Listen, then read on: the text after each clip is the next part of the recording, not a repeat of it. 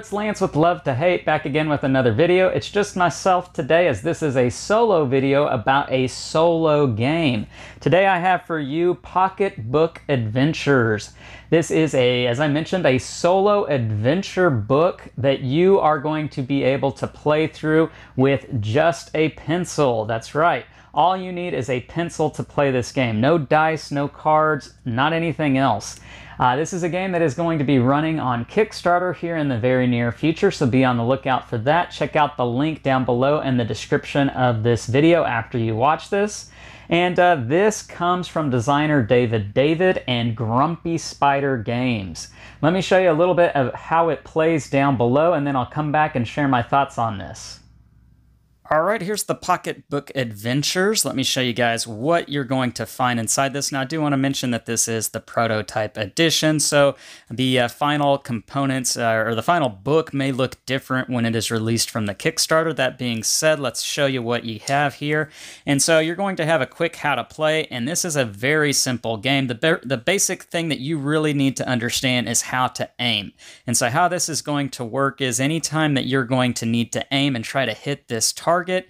There's going to be a spot on the map um, we'll just say that maybe this is the spot right out here. And you're going to have your pencil right there on that marking. And you can't have anything else touching the paper, so no part of your hand can be touching the paper like that. And without looking at the page, you'll look straight ahead. So not looking here on the paper, I am supposed to try to pick up my pencil and move it to the bullseye and try to hit the bullseye, or at least as close to the bullseye as I can. Each ring that I am outside of that bullseye, I'm going to have to pay a penalty usually losing health or something of the sorts. So that's one huge main mechanic that you'll work with in this game.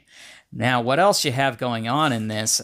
You're going to be taking out different enemies throughout the course of the, the game. You're, you're going to have maps that you'll be following. In fact, here, let me show you exactly what you'll be finding in this game. So here's the very first map. And if you don't want any spoilers, then go ahead and skip past this portion of the video. But here is Area 1 Grasslands. Now, each map is going to look different. You're going to have different obstacles, different uh, terrain that you're not able to cross. And essentially, you are going to be free to move throughout the course of this, having to follow certain rules for movement. Now, in the beginning, there's not many rules, but as you progress through this campaign and the different maps that you're going to find, there will be some rules that restrict how you're able to move.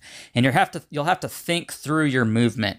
And one other thing that you're really wanting to try to do is be efficient as you move throughout this map because however many spaces you move will determine how many stars you're able to collect collect. As you can see here, I didn't collect any of the movement stars because I had moved too many spaces. So you want to try to be efficient. Anyhow, what you're doing is you'll start on the spot here that has the silhouette of the person, and you're just going to move. And if you run into an enemy, you're going to be taking on that different enemy. So for instance, the pixie here, I mentioned there'd be a spot where you would place your pencil, and that's going to be right there. And without, again, without looking at the paper, I'm supposed to try to pick up my pencil and place it right in the bullseye in order to take out out this pixie. Now, if I do that, I don't sustain any damage. If I get in this, this second ring here, I'm going to sustain one damage. And if I hit the second outer ring, then I'm going to sustain two damage. Now, also, these enemies are going to have status effects. If I hit any of the darker shaded regions, then I'm going to suffer this status effect, which is going to be different depending on what the map is. And sometimes it might actually be a good thing. Uh, and so that's how the enemies are going to work. You can see here that you're also going to be collecting hearts, which will restore your, your HP, your hit power, and you're going to have a max that you'll have to work with and try to increase throughout the course of the campaign.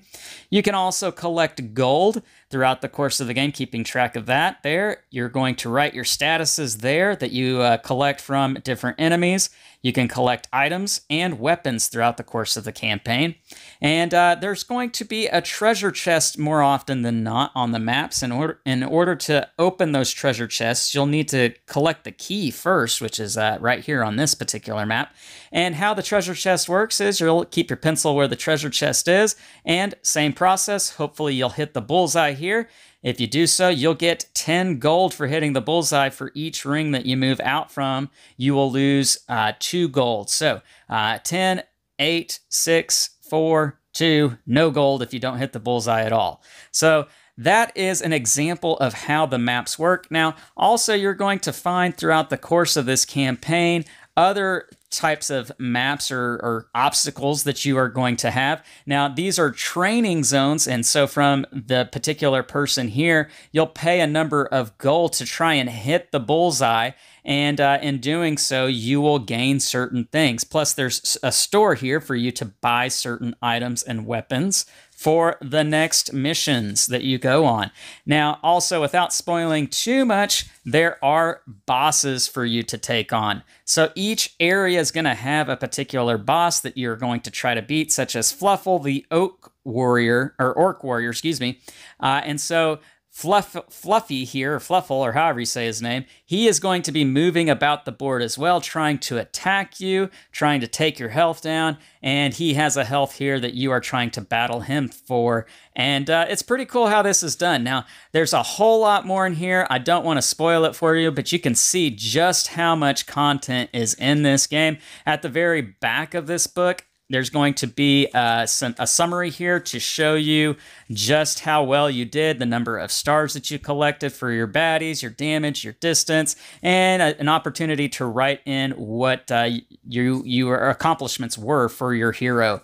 And uh, also, if you fill out this entire book and you want to play again, there will be a QR code for here for you to be able to download and print off more pages for you to be able to go through this again if you want to do so. Anyhow, that's what you have here with the Pocket Book Adventure. Let's go back up top and share my thoughts on this one. All right, so there you have it. That is what is inside the Pocket Book Adventure here. And so this is a uh, book, and you can see the entire book right here, uh, that it's chock full of adventures for you to go on um, different maps, different creatures that you're going to be battling, each with their own different rule sets and ways to have to overcome the different obstacles that you'll be facing in this game. Lots of little puzzles that for you to try to figure out throughout the course of the adventure. And you're wanting to try to be efficient while you go about doing this having a good path that you're following and trying to take out monsters and not taking too much damage, trying to get as many victory points as you can throughout the course of the campaign.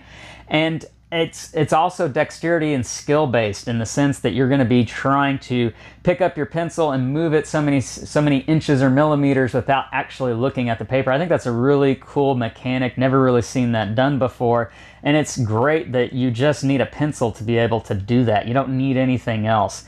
Uh, really cool how that works makes it very portable, easily to to play this anywhere that you you can imagine.